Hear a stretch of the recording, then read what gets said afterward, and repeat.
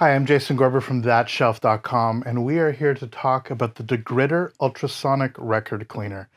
I've been using this um, cleaner for many months now, cleaning hundreds and hundreds of records, and trying to answer a fundamental question. Is this ridiculous? Basically, does this do a better job than my already pretty excellent record cleaner? Um, let's step back a, a, bit. Some people are like, what the heck are you doing cleaning records in the first place? So there's a couple answers to that. One, if you buy used records, and I buy used records all the time, sometimes the best versions of a given record are um, the original or something that hasn't been re-released. You can find all kinds of amazing stuff at used record stores. And during this time of Corona, boy, do I miss uh, um, parsing through uh, record stores. Nonetheless, when you get a used record, sometimes it's been in somebody's house. There's a cat. There's there there's pet hair. There's schmutz. Sometimes there's uh, actual dirt on the record. Um, so it's pretty obvious that one should give it a clean. Uh, back in the day, one would simply use a record brush, maybe put a, some alcohol or some water on the record, um, wash it around, and um, that was what it was. Um, a few years ago, um, actually, when I was sort of got back into vinyl, I did something very dangerous, and I bought a really kick-ass um, uh, record player, and that uh, uh, encouraged me, as it were, to actually get back into uh, buying records. Um, I bought a Spin-Clean. It's about 100 bucks. Big yellow thing works fine. It's got two brushes on the side. You put a record in. You, you, you turn it one way, you turn it the other way, you put it on a rack like this, and the record dries um, after you uh, do with a um, a lint-free cloth. Uh, you occasionally give it a rub, uh, put it down, and I did probably 3,000 records that way. Went through my entire collection that had never been cleaned. I had stuff, fingerprints on all kinds of crazy stuff that was there, and that was fine. I did the thing. And then I wasn't really happy about having to dry them all in the rack that way, of having to actually rub the records. I wasn't super pleased with that. So I did something very, very silly at the time. I bought a vacuum cleaner machine. This is the Okki Nokki. Um, it's one of many. You've seen VPI. Um, uh, the Nitty Gritty is one that's slightly different. The way that the Okki Nokki works, just to show you, you have a little vacuum um, handle like this, a little wand. You put the record on, you spin the record, the turntable plays. You then put on vacuum. It's going to be loud for a sec. And then when it's a vacuum, you push this down and then it actually sucks all the water and the liquid out from the machine, which is stored in the sort of, um, in the bowels of the machine. This has been great. And this record uh, cleaner has done a fantastic job of getting rid of particularly sort of hard um, um, surface muck. And basically it's just making your records look nice, clean, and awesome. And for, I guess, about four years or now, something like that, three years, this has been my go-to machine. Now, the advantage of this, it works. It absolutely cleans your records. It does it what its thing. Disadvantage, we're lazy. It's a little bit more manual. Obviously, even though it's automatically spinning around, you're still using a brush um, on top of it, spraying liquid on it and doing it that way. And also, um, just based on what it's doing, the way that it's vacuuming and all of that, those other elements, there's always a sense that you're not quite getting really into the grooves the way that you actually would want to. It's doing a nice job on the surface and getting rid of all the surface stuff, but obviously the way that records are built, they're a bunch of grooves. And if you get sort of um, dust or elements within there, hopefully this will actually um, get rid of it. But when you're listening to records, you always have that sense when you hear pops and clicks, like, I wish there was another way, another method that it could actually do to extract more music out of the record. And that's uh, uh, that's the point after all. This is what we're trying to do. We're trying to get the most out of any record that we can. We bought the thing, let's extract the maximum amount of musical energy, importance, uh, information that we can get from these ridiculously century-old technology, these grooves going up and down or side to side on a modern stereo cartridge. That's what we're trying to do. So when I did it with this, I always had the sense of like, ugh, I bet there's something else that we can actually do to actually get it out of it. Um, and I knew i had been to record um, uh, high-end audio stores, and I'd seen the pretty preposterous um, high-end ultrasonic uh, cleaners. Um, um, there, there's uh, Audiodesk makes um, a pretty formidable one. This big metal thing. It's got spinning brushes. It claims to be ultrasonic. There's a whole conversation um, uh, to have about whether it's just using ultrasonic to actually mist the air, um, uh, as as opposed to being a pure ultrasonic cleaner. That's like a conversation that's way um, uh, above my pay grade, as it were. But there was other machines um, that came out, a bunch of German, uh, Japanese, Korean machines that would do basically you put it in, the record would spin. Uh, it would be bombarded, um, often from the bottom, um, with ultrasonic uh, bubbles. These bubbles um, would burst once they actually hit the record. That cavitation pressure would actually dislodge stuff within the groove. And then hypothetically, you'd have a clean record player. In Canada, these ran for five thousand, six thousand, seven thousand dollars for this big monstrous unit. And it seemed that stuff I couldn't get off with this, I could take to an ultrasonic machine, have it run through, and even if the sound didn't magically make it better, you certainly had that sort of sense of I've done what I can do. I've extracted the most out of this record that I can do. When you're spending hundreds and hundreds of dollars on a record like this lunatic does, you want to make sure it's the best version of that version of that record, as it were. Uh, which brings us to the Degritter. Now, Degritter was a um, uh, a development out of a bunch of uh, uh, really interesting people um, out of Estonia. And they basically, uh, um, um, uh, the, the, head of company saw a need. And he's like, I, I, as, he, as he described in an interview I did with him, um, he was lazy too. And he just wanted something that you just put in and it just does what you want to do, namely clean your records. There shouldn't be such a headache, but we just want to just put it in, hit start, walk away, come back you have a clean record. And really, that's what this unit does. Now, um, he says he's lazy. He, he, developed a company, hired a bunch of people, went through hundreds of iterations of manufacturing, all to create this thing, which fundamentally looks like a toaster. Um, and that's really what it is. What it, what it consists of is essentially I have two of them, so I'm going to show you the inside. This is, this is the water tank. This is this is you actually fill this up. There's a fill up line, and this sort of sits in the back here, and and you put in water and and basically the way the way that it, it, it, rolls is that you put in water and some cleaning fluid. This is the record cleaning fluid. Um, uh, this is their intense wash. This is their regular cleaning fluid, and you have a little pipette. And so you just put the pipette. You put this much in. You put it in this uh, reservoir, which has a lid to prevent evaporation. I usually take this off when I'm cleaning so it doesn't overheat. You turn it on on the mechanism here, you hit play, and it cleans your record after you've selected um, whether you're doing what what level of, uh, um, of of cleaning you actually want to accomplish. That's it. What is it actually doing inside? Well, not to get too uh, on much into the weeds here, but essentially what it is is that there's two essentially speakers, if you think of it that way, that are bombarding the record, uh, bombarding the water that's in the reservoir here. Let's step back a little bit. Um, from the water, pumps actually bring and fill up this cleaning reservoir while the record is, is sitting in here. And so if you actually put in record, might as well take one out. Led Zeppelin 2 on MoFi. For those that know about this record, they know why this is a relatively big deal. And you basically put the record in like this.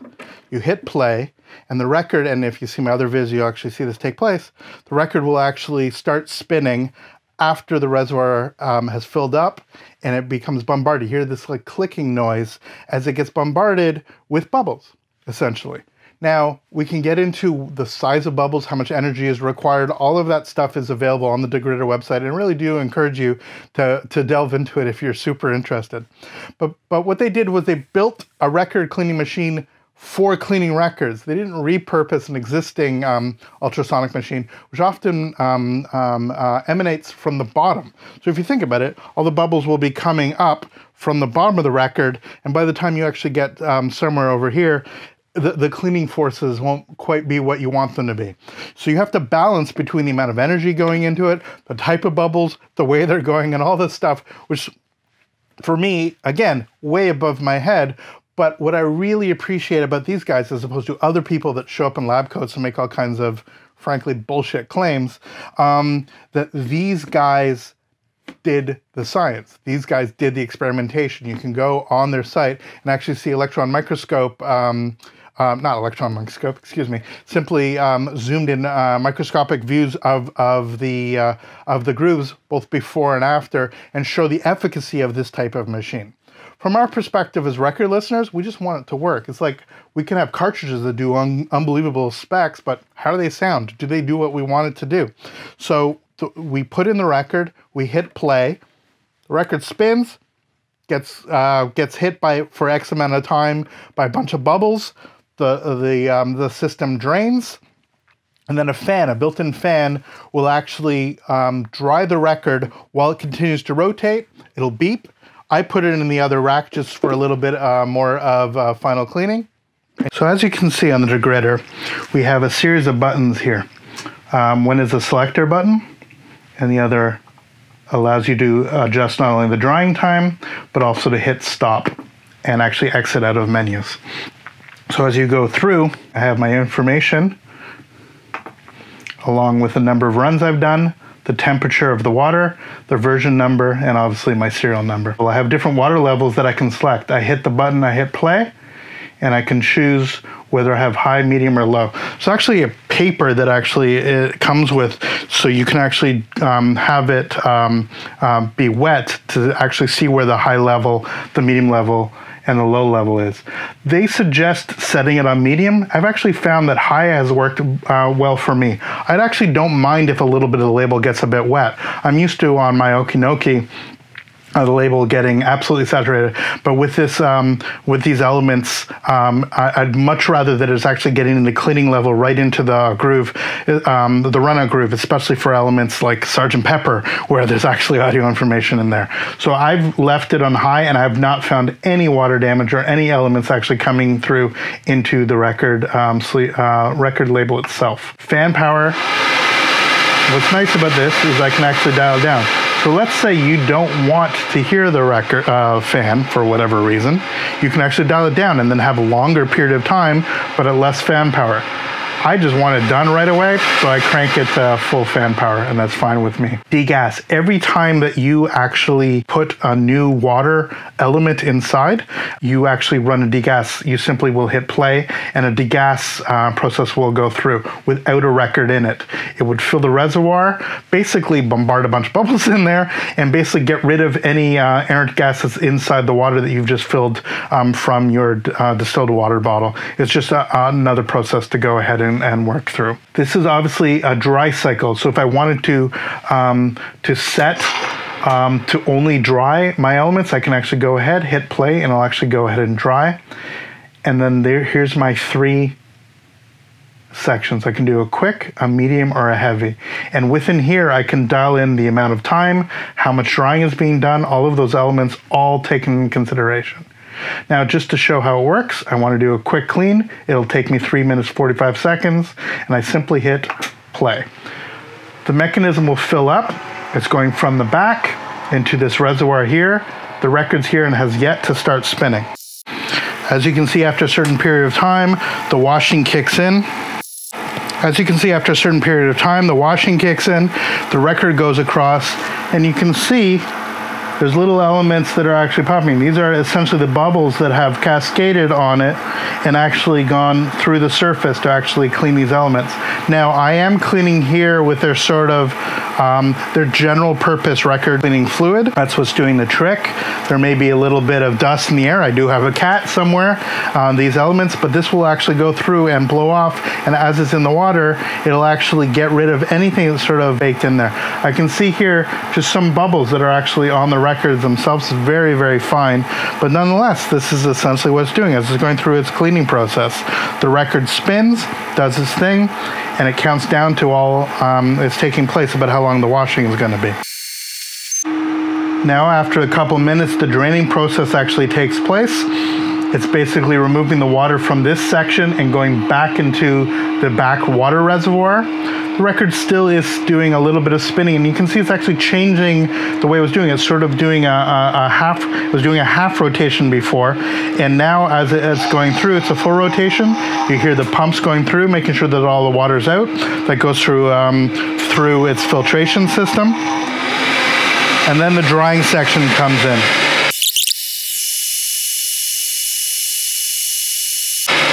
And then as the timer actually reaches zero, it simply shuts off. I get a pleasant beep. You see there's a little bit of visual indication on the screen there, and we're good to go. Now, if you listen now, there is no fan going. If I've done a couple of these, especially if I've done a heavy load, I will occasionally have the fan going. I did a quick one, and I realized I did not take off the back, which I should have done. It's not like it doesn't work without there, but if I was doing a number of them, it would obviously heat up it automates so much of what this did. So much of, I mean, this is semi-automatic. Think of it this way. This is a fully automated unit. You put it in, you hit play. It's like hitting play on a CD player or a tape player. Um, and, and it simply uh, goes through its entire mechanism. Now, does it do a better job than this? Sort of. Um, I think that this is absolutely a much, much more effective way of doing that. I got a couple records, I just want to clean them, put it in, hit play, walk away, come back. It's fantastic. I still have this unit, and this um, this is part of the conversation I have about um, the type of records and what I'm actually cleaning with this.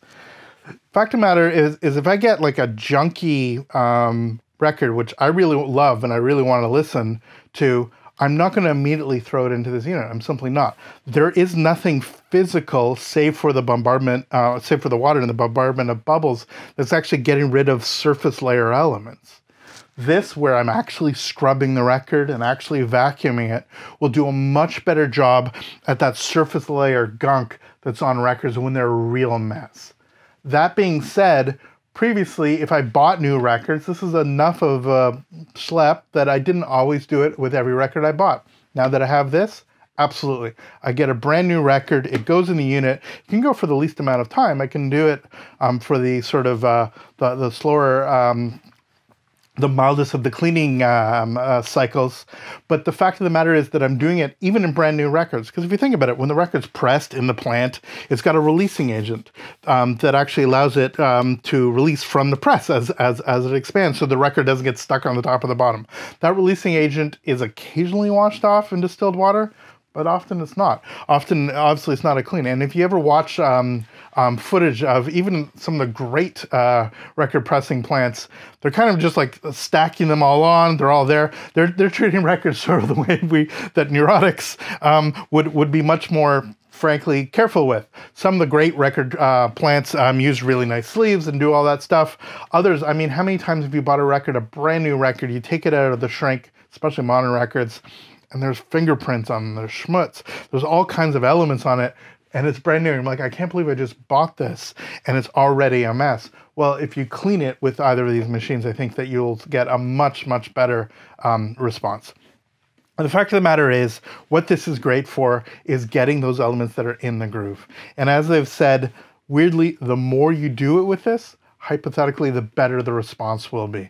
Um, that if there really is something that's sort of deep in the groove that is not a flaw in the pressing itself, um, the odds are that you'll actually be able to dislodge this if you do a couple, three, four, sometimes five, sometimes 10 cleaning cycles with this. Now, how do you know that it's actually doing the job? Well, you just play it. Um, the way that this is structured is that no damage will be done to the record itself. It's um, tuned to a specific frequ- series frequency, a, a, swept frequency, to do the cleaning, but not at the expense of damaging the record. And that's incredibly important because a lot of these machines just haven't been gone through that robust testing cycle to know that we're not killing our vinyl by cleaning it.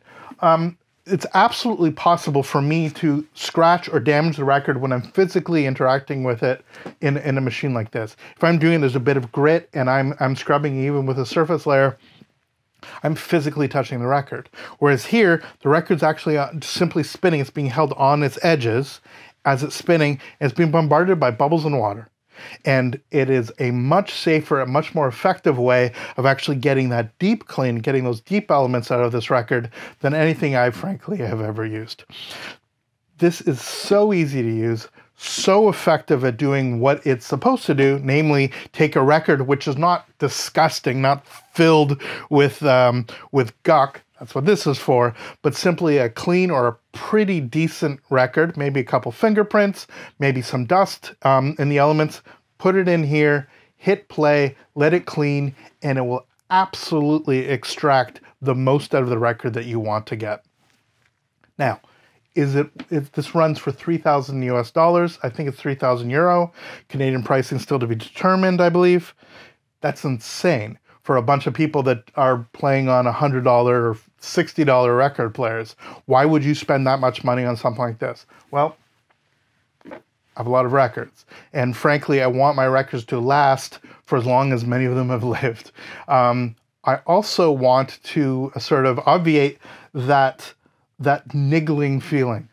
I would often have I'd, I'd buy this some silly pressing, some um, some first pressing like this Who record here, and I would bring it home and I would clean it with this, and there would be a lot of um, pops and clicks, and I'd be like, should I be able to extract even more from this record, or is that simply baked in? Are those just elements that were there from the beginning, uh, almost 50 something years ago, 55 years ago, when this record came out? Or is it something that we can actually um, do a better job of cleaning? I put this record in here, does a better job cleaning. Now, it is not a miracle worker. This is absolutely fundamental. This cannot uh, for lack of a better word, polish something that is already a turd.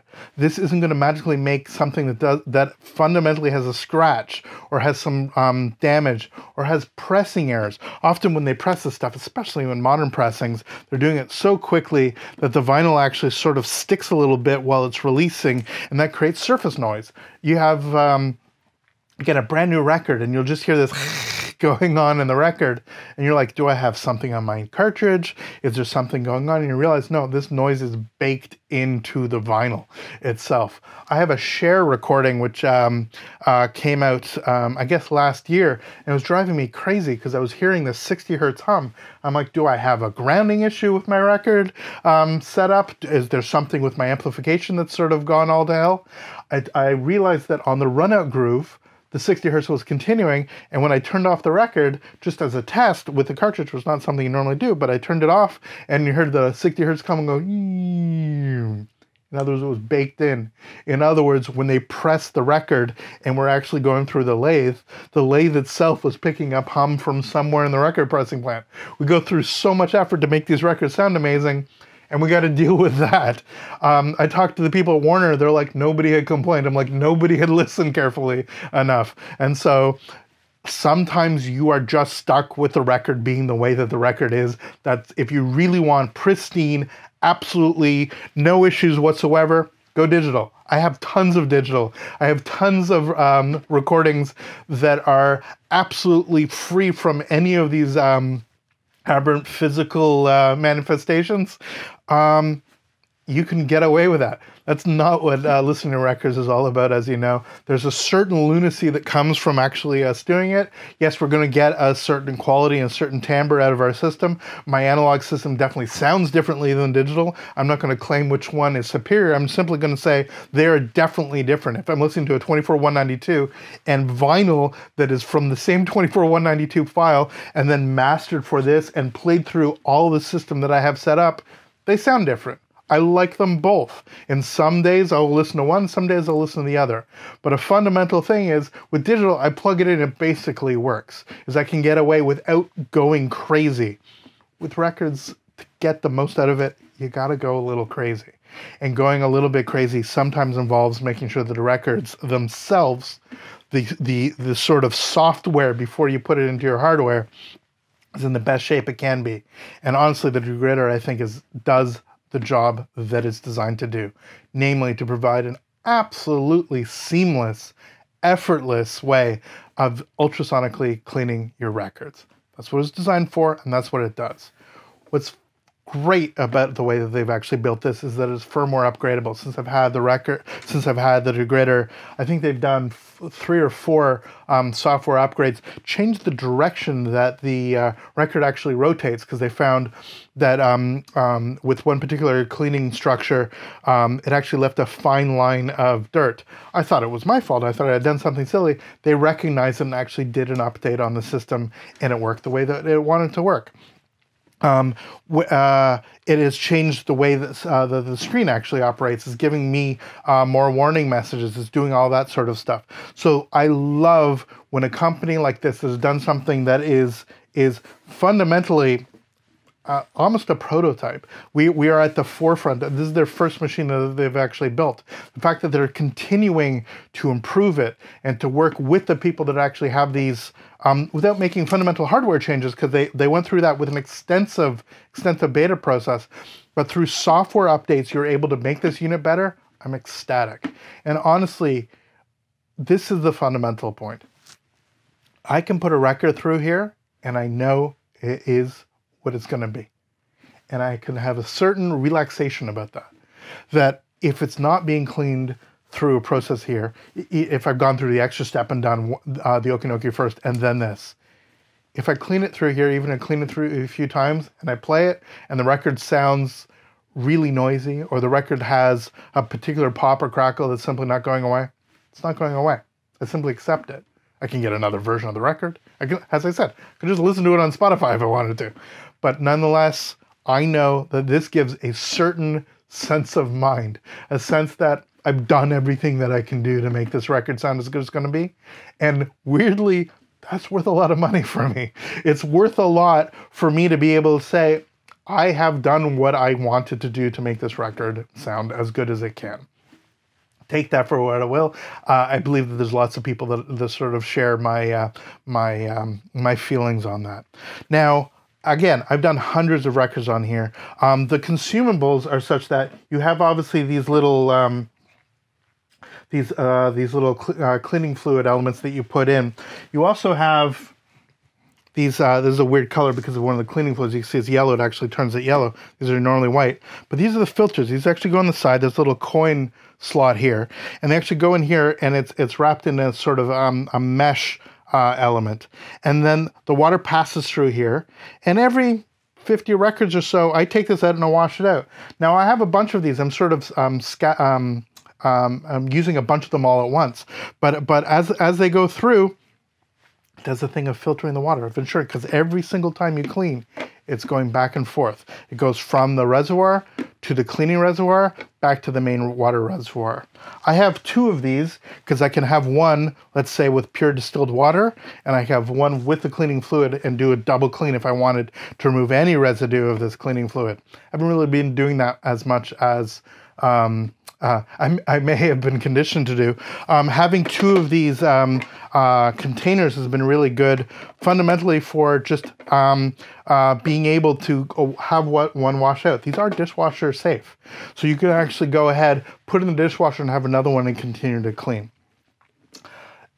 Gripes about it. Honestly, everything has pretty much worked exactly the way that I expected it to do it is no miracle worker. It is not going to make something that has a fundamental problem to the record work suddenly. You're not going to put it in and go, oh my God. I actually put up on, um, on the Hoffman forum a couple ABs, um, records that I knew were a little bit rough. I played one and played the other, and I asked people to say from the high resolution files which one they thought was before and which one they thought was after. If it's already a clean record, if it's already a record that's gone through here, it's very difficult to hear the difference. Even look in the waveform, extremely difficult to go from here to here. Nonetheless, I know if it's gone through here, I'm certainly not making it worse, and I'm definitely making it um, a modicum better. Is it a radical difference? No. Between this and this, not. This is a $600, $700, $800 unit. This is a $3,000 unit. Is the difference warranted? The difference is warranted in that, again, that fundamental point that I know once it's gone through here, I know I've pretty much done what I can do with it. Now, if it's a brand new, um, sorry, if it's a record that has a lot of dust on it, of course, if I haven't cleaned it at all, I played before and after, the differences will be quite radical. But there are no radical changes between doing this record clean and this record clean. The differences are subtle if there, if perceptible from somebody who's actually doing an A-B blind test. Um, uh, uh, certainly for a bunch of records that I know are super problematic, this has not got rid of uh, um, many of the pops and clicks that you may have hoped it to, but it does some of them, and some of them is a help. Now, this this sounds like faint praise, but I honestly, I have to keep repeating this. This does what it's supposed to do. It does that hypothetically that top level of cleaning, that sort of um, industrial level of cleaning that you actually want from a record. The no, the fact that I know that this investment that I've made is as good as it's going to be for that particular physical version, and for that I am ecstatic. Um, and as I've seen the development, any of the quirks that I've seen with it, as I said, there's a fine line of dust occasionally when it would actually uh, be done cleaning. That's resolved. I haven't seen that uh, since the last firmware update. Um, the the uh, the it, on previous um, it, um, iterations of the software, it would overheat and actually stop after a, a, particular point of time. Now they've programmed it so that the fan continues, so it actually cools um, the water in here. I occasionally forget to take this off, and um, the water um, uh, does heat up uh, quite a bit because you basically you have energy going into the water. And so if i'm doing 10 records all at once it's a really good idea to take this off. I occasionally forget to put it back on and then the water actually evaporates and then i got to put more stuff.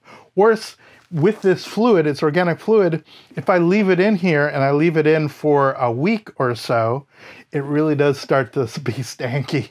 Um, not a great idea to do it, um, which means that if, unless you're doing sort of a bunch all at once, you do occasionally have to refill it with distilled water and, um, and, and do a clean that way. One thing that I found is I'm not always putting in cleaning fluid. Sometimes I'm simply doing it through the cavitation process without the additional fluid, and that way I can keep in in uh, in with the um, lid on one of these elements just uh, without these elements ready to go. I simply pop it in and when I just have a record that I just want to clean super quickly, I can go ahead and do it. Um, it's I think very attractive. It's this nice retro toaster look. Um, if you actually look at the inside mechanism, it's extremely clean, um, really nicely laid out. Um, the way that it works in terms of taking this in and out, it's a little bit fiddly, but once you get used to it, it's fine. I've scratched the um, edge a little bit getting it out. Absolutely, the best way of doing it, screwdriver will absolutely uh, sort of chew up the metal. Use a coin, a big coin. In Canada, use a $2 coin to open it up. The buttons have been extremely clear. I haven't seen any software glitches. Software updates are extremely, extremely simple. There's um, an, S, um, um, an SD card on the back. You simply put it in and it goes ahead what more do you want from a unit like this other than for it to simply work? So in conclusion, the Degritter Ultrasonic Cleaner simply is the best I've ever used. Now, what does that mean? Well, it means that I know that I can put a record through here and get the most out of my record, period. I absolutely am going to keep this, as ridiculous as that is. I'm going to keep the Okki Nokki for those truly soiled records, those bargain bin things that you um, sort of found um, the back of the record store, those hand-me-downs that you got from some grandparent, something that really needs a really good scrub. Once it's gone through here, and once I've gone through the drying process on through here, I'm gonna put it into my degritter. If I get a brand new record and I put it through, I put it in here, I hit play, we're good to go. Um, it works with colored vinyl, it works with um, picture disc, works with it, whatever you want. And this is something fundamentally interesting. It also works via adapter with 45s. Now, to make a 45 work on the Okki Nokki, you actually have a different size arm, which has, well, it's the same size arm, but the Velcro on the arm is uh, slightly smaller for actually, for you to allow to do a 7 inch. Now, I don't know of a better solution than this, so let's be clear. But if there's one thing that's fiddly in this entire endeavor, it is cleaning seven inches. Now, this one has just been in this cardboard and it's got schmutz all over it. And so it wouldn't be a bad idea for me to clean this anyway. You basically have to put the record in here and you have these little sort of grommets, these rubber things. And you can see how challenging this is to get it right without completely murdering this record. So if you do this and they sort of hold it in place, hypothetically, I have it so it's clean and uh, grippy enough right there for it to go in the in the unit. You can see I'm unable to do it because we're on camera, but basically right there, I would be able to put this into the unit like that. and would actually clean the 7 inch that way. Now, that is more work than I've done with anything to do with this degritter. I wish there was some magical way, some magnets that it would actually go, that I could put it in, some way that I could actually dunk in um, uh, into, into the slot to allow me to much more readily do um, seven inch records. I can't think of a better way than this. Still, it's the edge of this sort of acrylic um, that's going to be turning on the on the main section going through here, and it does a very very good job of cleaning the seven inch records as much as it does of cleaning 12 inch. There's also a 10 inch adapter that does something very similar. Once it's done, you can see it sort of it pops out very easily, and then I can go ahead and um, go through it that way. So if there's one minor thing for seven inches, it's kind of a schlep. Does that mean that I'm not happy that they have the 7-inch adapter? Of course not. Um, the fact of the matter is this is a little bit of a hack, but it does the job that we want it to do. You put it in here, it cleans the record, we go from there. So basically, the degritter is the ultimate record cleaner. It's as simple as that. It uses technology that actually gets deep into the grooves and actually extracts the most of the music that you have baked onto your disc. I would not use it for absolutely filthy discs. That's not what it's designed for. It's designed to clean something to its utmost. Even a brand new record that has that agent on it, this does what you want to do. Other versions that are simply uh, much more of a hack are basically taking um, cheap knockoff um, ultrasonic emitters in a giant tub, uh, putting some sort of nonsense powder on it, bombarding it from above, just absolutely nonsense. This is designed by record fans for record fans. This is designed fundamentally to work, to work for many years, to be over-engineered. I don't, I can't imagine they're making a lot of money on these things at all. I think that they went through so many process and so many different iterations in order to get to this, that they've simply built a tank. I expect this to last for years and years and years and years. My understanding is that any of the elements are actually user user replaceable. That if we have the pump element or we have these other elements, we can just simply pop it in by taking off uh, the screws on the side. I believe this absolutely is the best thing that money can buy to actually clean your records. I think it should not be the only thing that you have to clean your records, but this is the last stop. This is the thing that you do before you put the record on your turntable. If you have something that's been in the sleeve for a while and you haven't listened to it in a while, put it in here, four minutes later, take it off the rack, put it in, good to go. The degritter, absolutely astonishing. Uh, it's been my absolute pleasure to actually be using this for its many months, and I look forward to using it for many more years. I'm Jason Gorber for thatshelf.com. It's a long uh, review, but thank you for watching it all. Please uh, subscribe. It really helps us. Um, follow us on social media. And um, if you're interested in uh, more of our looks at different technology, please leave us uh, some comments. Thank you so much, and we'll see you next time. All the best.